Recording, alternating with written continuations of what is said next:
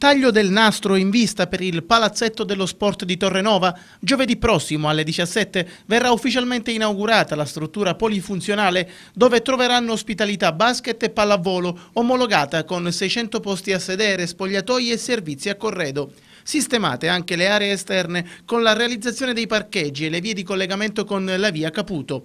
Il Palatorre, che sarà gestito dalla neonata associazione locale cestistica torrenovese, è stato completato grazie all'input decisivo dell'amministrazione comunale che nell'ultimo anno e mezzo ha ripreso l'opera incompiuta portandola al definitivo approdo. Un grandissimo motivo di orgoglio sia per me che per tutta la giunta, per i consiglieri di maggioranza, essere riusciti in eh, quasi un anno a inaugurare il palazzetto fermo dal 2006. Già sono nate due nuove società, la cestistica torrenovese e la volley torrenovese, che si occuperanno di mini basket, hanno già iscritto anche il, la squadra in promozione.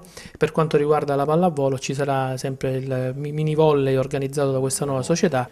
Ospite d'onore per la prossima stagione sportiva sarà il volley Brolo che al Palasport di Torrenova disputerà gli incontri casalinghi del campionato di Serie A2 maschile. Quest'anno, come l'anno scorso del resto, abbiamo trovato veramente grande collaborazione da parte dell'amministrazione eh, Castrovince, sia del sindaco ma anche dei suoi assessori, di tutto veramente eh, l'amministrazione. Una casa a misura eh, nostra, sicuramente non, non, grandissima, però sicuramente accogliente a misura eh, d'uomo. Credo che vada assolutamente bene per quello che sono le nostre esigenze.